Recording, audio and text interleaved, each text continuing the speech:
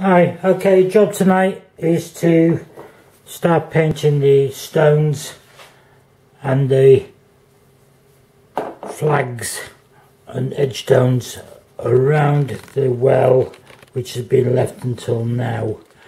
Um, I'm going to do these the same as I've done the rest of them so this is a bit of an insight in how to I did the rest of the stones. Uh, not particularly good at tutorials, but uh, hopefully you'll be able to understand what I'm saying.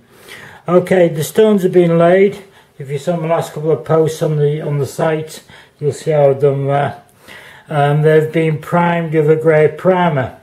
this is just purely to make them take the paint a bit better. Uh, as you see later on, um, I'll be uh, painting these quite dark in the end, so it doesn't quite look as bright as they look. Um, okay, uh, there's the stones. That's the old palette I'm using. As you see, actually this is pretty clean compared to normal. Five, only five colours used. White, black, raw umber, burnt sienna and yellow ochre. And what I do basically,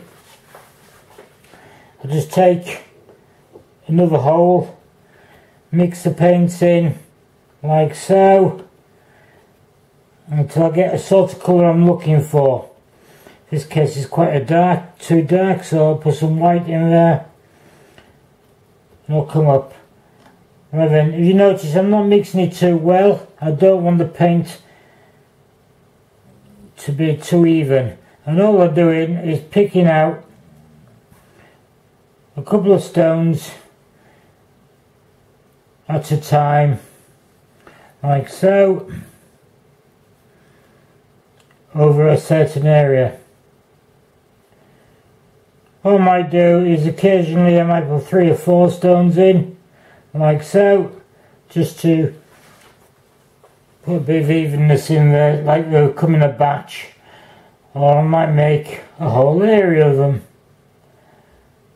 You see I'm just touching the top of the stones I'm using a number 3 flat brush which actually is extremely good for this because it's the right size. Okay, change the colour a bit. Take off most of the paint. And again, the odd stone here and there. Like this. A couple of them the same there. You see, even though the, even the same colours on the brush, because I've not overfilled it too much and the paint isn't hasn't been mixed too well you do tend to get a different colour from stone to stone which all goes to help to break up the monotony, the uniformity of the uh, of the model. I don't like uniformity. Just that because he used to be in the army, which wears uniform. And this is what I'll do now for the next couple of hours. Yes, it does take a long time, but when you look at the previous work,